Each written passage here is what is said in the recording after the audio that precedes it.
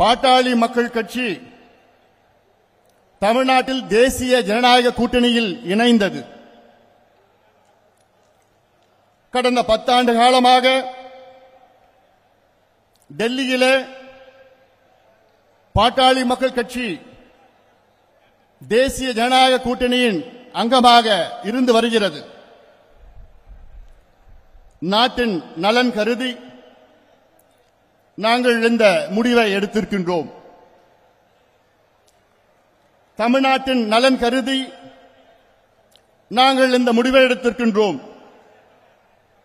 தமிழ்நாட்டில் ஐம்பத்தி ஏழு ஆண்டு காலம் இரு கட்சிகள் ஆட்சி செய்து கொண்டிருக்கின்றார்கள். நமக்கெல்லாம் மாற்றம் வர வேண்டும். மக்களுக்கு ஒரு மாற்றம் வர வேண்டும் என மிகப்பெரிய ஏக்கத்தில் இருக்கின்றார்கள்.